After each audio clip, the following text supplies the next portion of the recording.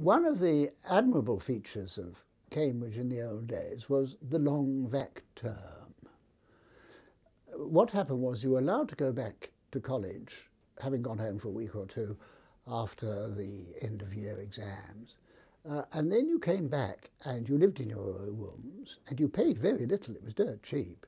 Uh, and there was no formal teaching or anything. You could do a bit of reading, you could do a bit of study, uh, and you could go to the library. So, I mean, it was a lovely institution.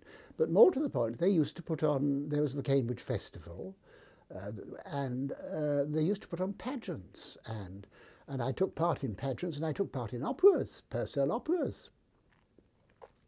Uh, the pageants were wonderful. They took place on the back lawn of St John's College. And they were produced by uh, Pop Prior, this wonderful woman, Pop Prior. Um, and I loved watching her. her. I'm afraid her style as a producer was, I don't think, very professional. Uh, she always had a, a, sort of secretary who wrote down what she said. And then she would drift around and say, well, why don't you do this and why don't you do that? And then at the next rehearsal, she would start all over again. And the poor wretched uh, performers would all say, but last time we said, you said, do that. And then we turned, the secretary would be brought forward and there would be a discussion about whether she'd said whatever. It went on like this. And although the performances eventually came, I won't say there was anything very grand about it. Uh, the, uh, the, her style was, as I say, not very brisk. Now, Boris Ord used to do the music for this, and Boris had a very short temper indeed.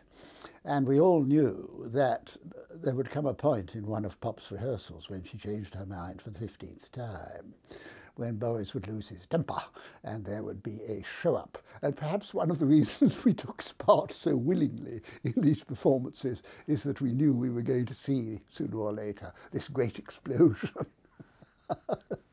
she, one thing she always she used to do was there was a, a wonderful character on the Cambridge scene, the Squire of Whittlesford, Whittlesford, a village some 10 miles south of Cambridge. Uh, and Kim Tickell, the wicked Squire of Whittlesford.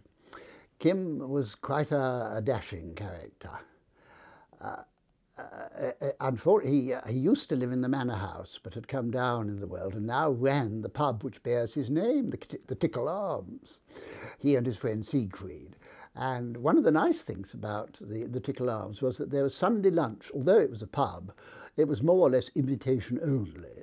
And really, quite a select group of Cambridge people uh, would gather for lunch at the Tickell Arms on a Sunday. And it was there, for instance, that I met Harry Williams, the, uh, the great, the, the, the, the theologian, rather modern theologian, who was at that time, I think, the Dean of Trinity. I got to know Harry at the Tickell Arms. Well, Kim ha, uh, could, had horses, and he also had um, King Charles Spaniels.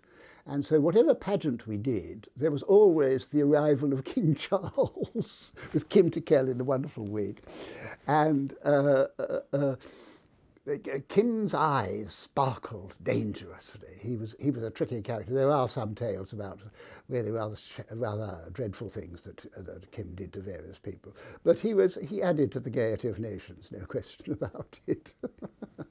but we also used to put on operas. Um, I took part in, oh, there was King Arthur and Diocletian, by, both by Purcell. Uh, that was very good. And in one of those, yes, I met, I met a character called Peter from Jesus, with whom I had my first affair. I was impelled, I'm sorry to say, more by curiosity than passion. And having gratified my curiosity, I left that side of my life on hold for quite a few years.